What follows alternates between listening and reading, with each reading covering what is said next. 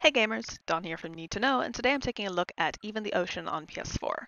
It's a puzzle platformer developed by a duo, um, Sean Han Tani and Marina Kittaka, and it was released originally on Steam back in 2016 and has finally made its way over to console. So as of August 2020, you can now play it on PS4, Xbox, and Nintendo Switch. Let's take a look.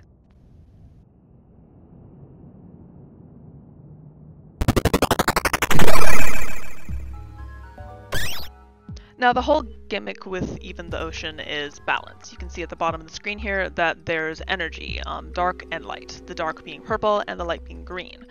Now what that energy does for you is affect the way that your body moves. Um, the dark energy is aligned horizontally and the light energy is aligned vertically. Now what that means is if you have more light energy in your system, you can actually jump higher and vice versa. If you have more dark energy in your system, you can actually run faster because that's a horizontal movement. So that's pretty cool, and it, you'll use that to your benefit at some times, and sometimes not so much to your benefit. Um, because if you have too much of either energy, if your energy goes one way or another, your character actually dies because you know balance and everything. It's yin and yang. It's I'm sure there's a there's a moral there somewhere. Um, now you're gonna meet, see a lot of your standard puzzle platformer uh, puzzles switches that you set off, um, sliding puzzles where you move faster on ice, uh, platforms that'll move in a certain way, like platforms that'll follow you, platforms that you can push, platforms that are only activated by far off switches. So it's all standard fare, but it all works really well. Um, Even the Ocean does a really great job of introducing those along the entire course of the adventure. Like nothing is there for too long, nothing's there for too short a time. They just keep on steadily adding on aspects of puzzle solving, and then in the final stages of the game, they actually tie it all together really well. So I enjoyed that. Um, if you're not terribly good at puzzle platformers, that's okay too. They actually have options for those of us who maybe have a bit more challenge. I'm not terribly good at puzzle platformers, I'll be honest. I'm awful at Metroidvanias, but I didn't find even the ocean to be too terribly difficult. I found it to be just right. Now, for those of you who are still having difficulty, there's options for that. And I love when developers include these. And now these options do things like allow you to um, float instead of fall when you jump, make it a little easier to get around. Um, they add extra platforms, so again, easier to get around. They make it so that you won't die when you are overloaded with um, energies, because sometimes there are little traps set up that if you aren't paying too much attention to the world around you, you can get shot with a beam of light that will that will eradicate your energy. It'll shift it either dark or light and you'll instantly die. Now that won't be an issue if you make it so that you can't die. So really, they gave you options that made it so you could tailor the gameplay experience, and that to me is a definite plus.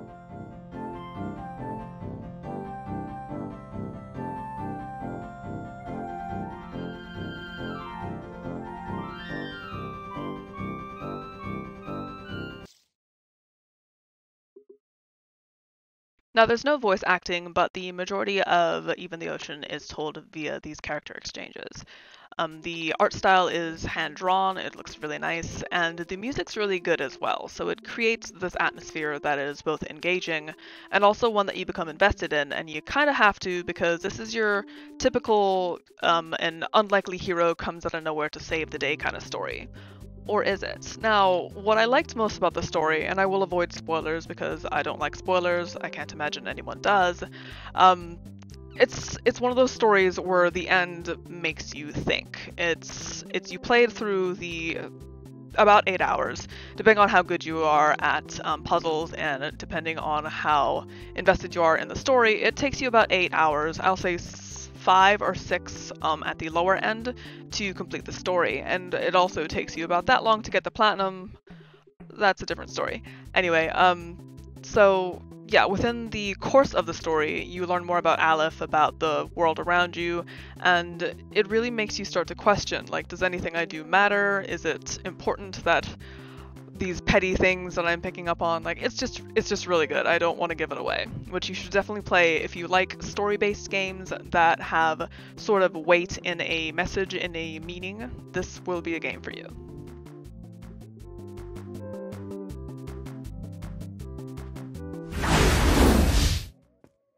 Also of note is the LGBTQ plus friendly cast. Um, Aliph I'm pretty sure she's gay. It doesn't outright say it, but she is interested in another character.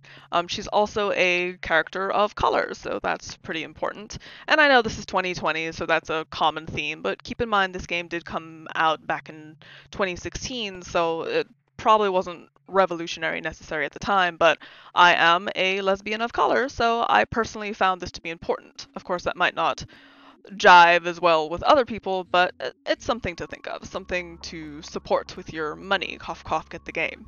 Um, if I had to give this a score, because I do believe in numbers are a good way to reflect how well something does, it would be an 8 out of 10. Simply because the story is really good, the gameplay mechanics are very solid, they feel good. Um, moving around as Aliph, you are able to lock the shield in any direction so that you can actually defend yourself while also moving. She can um, jump up walls, she can slide down walls, she can use the shield as a shield, as you can see here, but she can also use it as a freaking, uh, what's it called, zipline, which is amazing. Like, how do you zipline with a shield? You'll have to play to find out. Now, if you're looking for like a Super Meat Boy experience where it's this hard as nails challenging platformer, this isn't for you.